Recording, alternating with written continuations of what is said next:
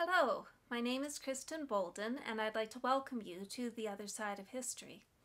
In this um, little video, I would like to do some music and give you the history of um, Wolfgang Mozart and also play some of the music by him.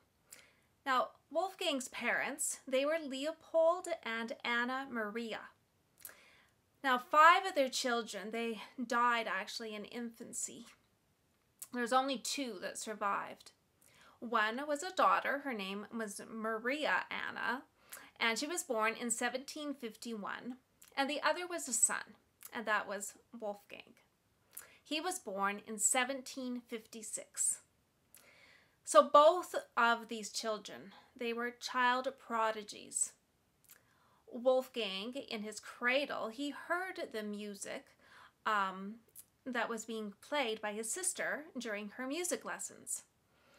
And at the age of three, he was already picking out chords on the clavier.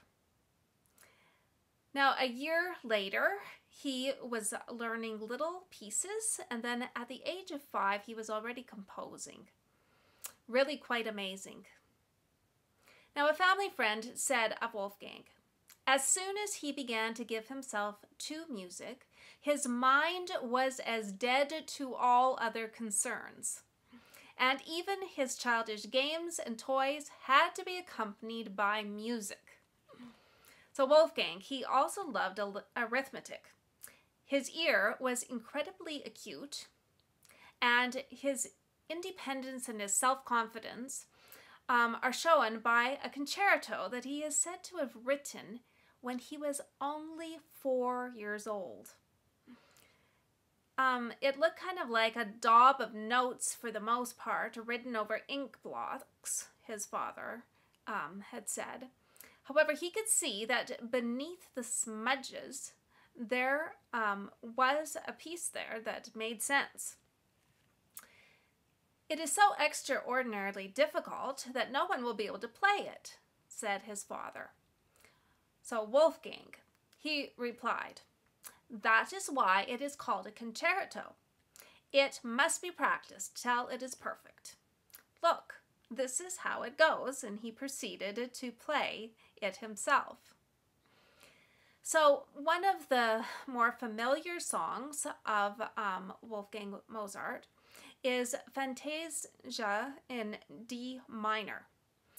And I would like to play that for you right now.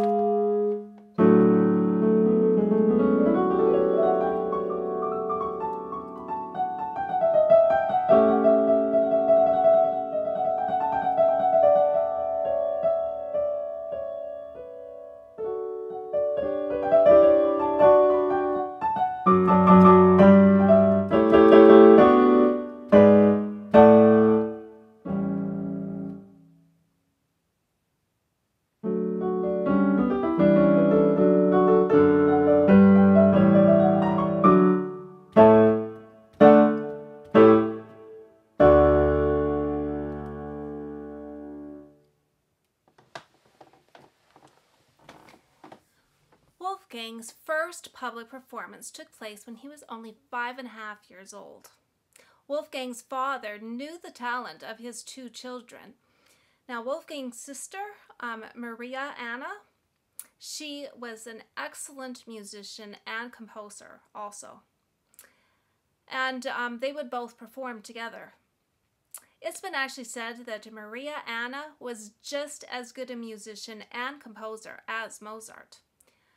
But in those times, females just did not have the same opportunity um, with a musical career or any career as that goes in that time.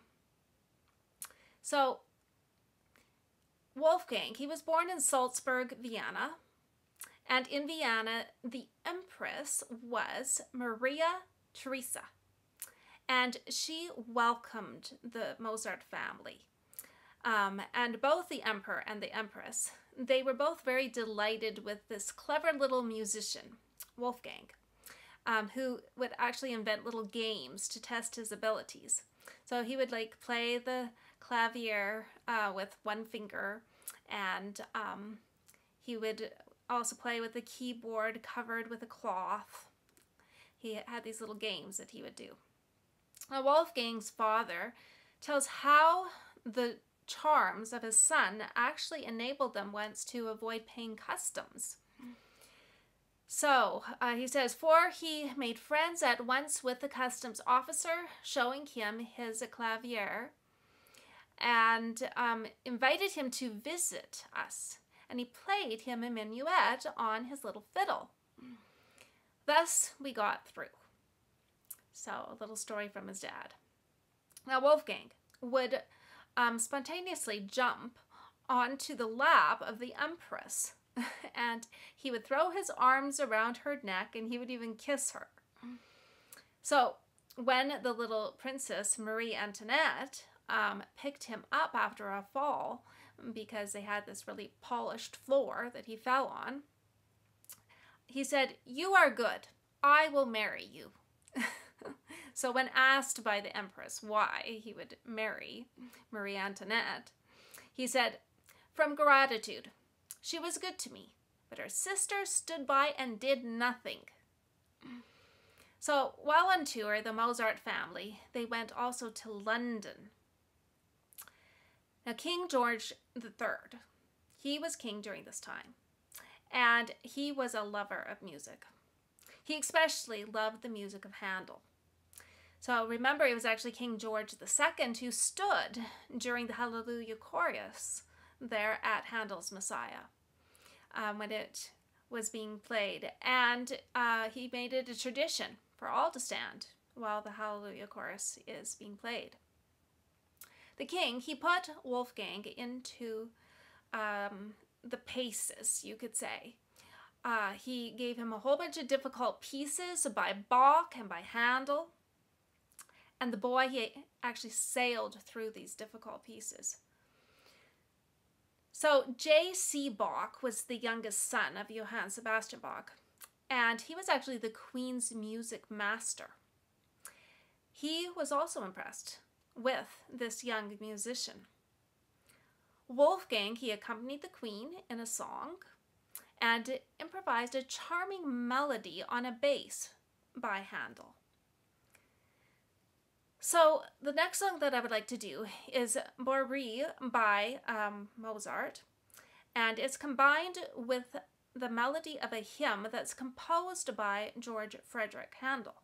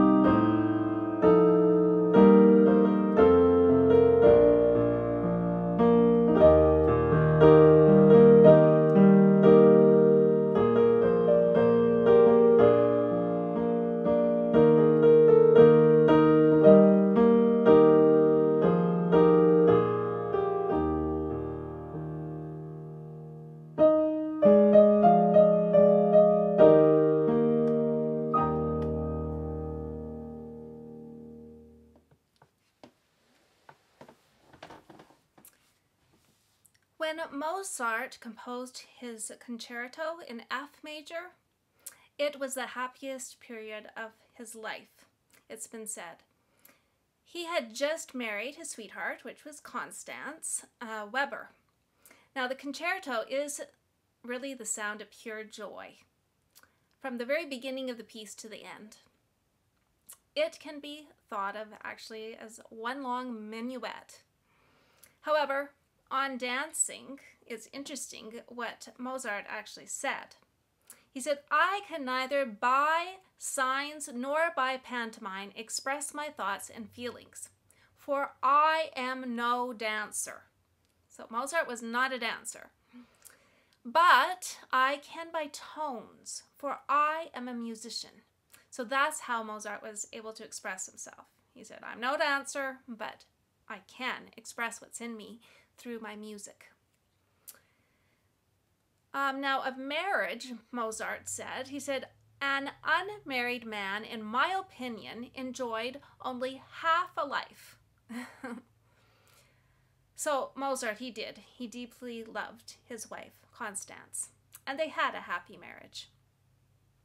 Now, of Constance, Mozart said this He said, My Constance is the virtuous, honorable, discreet, and faithful darling of her honest and kindly disposed Mozart. so, a couple years before Mozart met his wife, Constance, he was asked to write a piece of music. And this music was by a Salzburg businessman um, that he was to write for, and his name was Hafner. So the piece was played at a celebration um, on the evening that was before the wedding of Hafner's sister. So this piece is actually called the Hafner Serenade, and I've combined it with the melody that's to, um, to the hymn, "Oh Jesus, I Have Promised." Now, I believe that good music has the ability to draw us closer to our Creator.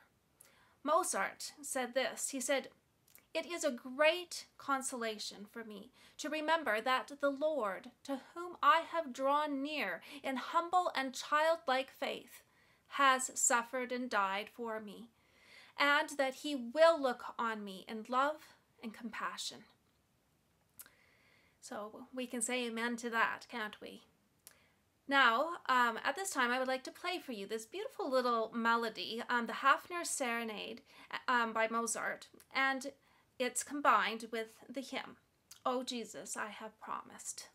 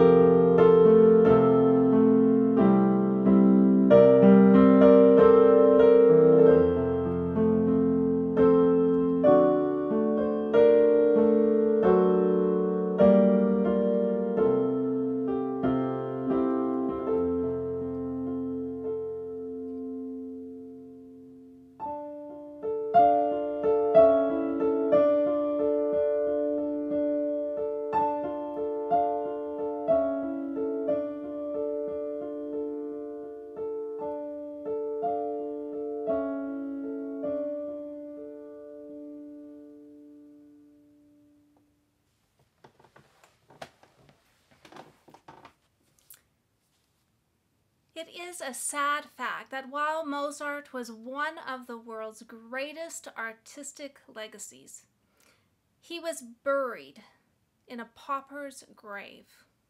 The reasons given for this actually were um, one of them was his physicians. Medicine has not always put health above profits, and some have even said that Mozart really was poisoned. What we do know is that Mozart died of chronic kidney disease and he had racked up a huge debt in medical bills. Another misfortune of Mozart's was his involvement with the Freemasons. This is actually another reason that is given why Mozart died as a pauper. And I believe it's a warning for us to stay away from secret societies now, why Mozart would have been uh, persecuted by the Freemasons, I don't know. But once you become part of these secret societies, you are no longer free. You're not a free person at all. So the term Freemason is actually a very misleading term. Now, Mozart was around 27 when he composed the Turkish March and it is one of his best known tunes. He was married actually at this time to his wife Constance, and they had six children, but only two of them survived infancy. During this time of chaos that was in his own personal life, um, domestic life, masterpieces, they still flowed from his pen. And the Turkish March was one of these masterpieces. So the Turkish influence on Western music, it actually came through the Turkish military band music. And it was made popular by composers like Mozart and also Beethoven and Strauss.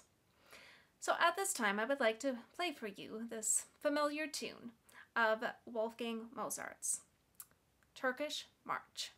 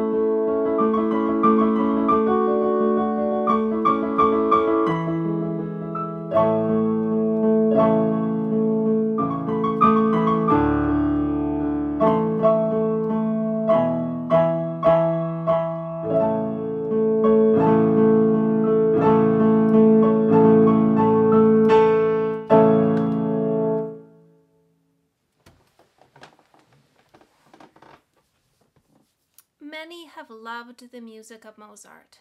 Albert Einstein said that Mozart was actually his favorite composer, along with um, Johann Sebastian Bach. The music of Mozart and Bach had much of the same clarity and the simplicity and the architectural perfection that Einstein actually strived for um, in his own theories. However, far too early in life, Mozart, his constitution, it began to wane. At the age of only 35 years old, he was dead. In his short life, Mozart, he um, managed to write an amazing number of musical works. Mozart's compositions are actually often identified by the letter K, followed by a number. So the K, the K, it actually stands for Ludwig von um, Köchel, who issued in 1862 a catalog listing Mozart's compositions as nearly as possible in the order in which he thought that they were written. I personally find Mozart's music to be graceful and charming. His melodies are beautiful, and they're also beautifully balanced in kind of like phrases. Mozart's handling of the voice has never been surpassed. He would often write um, with specific singers in mind. The Mozart family was a tightly knit unit, and they kept in touch with each other in writing many letters. And many of these letters have been saved and published. So they give us a picture of the life of this remarkable musician, Wolfgang Mozart. And I believe that Mozart really was a great composer with a warm um, sound to his music and also a warm human being who unfortunately died way too early. So if you have enjoyed this little uh, musical and talk, I would just like to encourage you to click on that subscribe and like button, leave your comments, and I just want to thank you for listening, and God bless.